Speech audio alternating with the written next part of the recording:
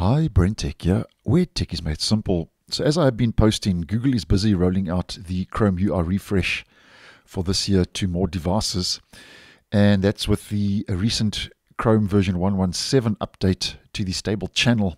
And I'll post it on that, and I'll leave a link to that video down below if you would be interested. Now, just to uh, give you a quick update regarding another change that uh, could be part of the Chrome UI refresh.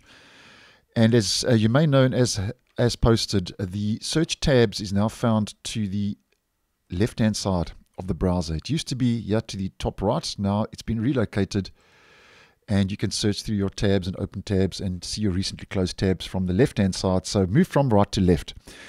Now, according to Leo over on X, um, it seems that Chrome could be getting a new organized tabs feature that's going to be part and parcel of the search tabs. And at this stage, not much is known about this.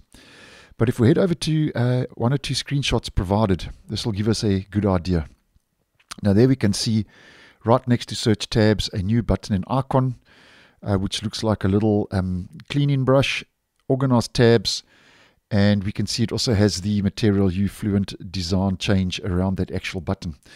So that's the first glimpse of uh, Chrome's new organized tabs. Now, as mentioned, uh, there's not much information about this new feature.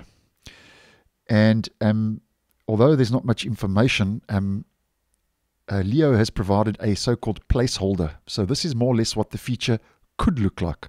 It's not the actual feature, but this is a placeholder. So, although there's not much information, it could be a new menu where you can easily reorder tabs or move them to another window or group them together. And but uh, as mentioned, um, this isn't official. It's just pure speculation at this stage, and we are looking at a placeholder.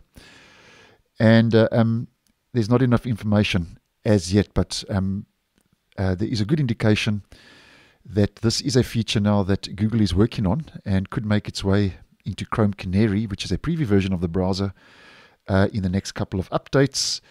But um, although it's early days, just wanted to bring it to your attention um, because obviously this could be part of the Chrome UI refresh. And over and above getting the, the search tabs moved now from the top right to the top left, we could be getting that new organized tabs, which is going to be very interesting uh, to see what it actually does include when it does roll out. But nonetheless, um, if I do get any more info, I'll keep you guys in the loop. So thanks for watching, and I'll see you in the next one.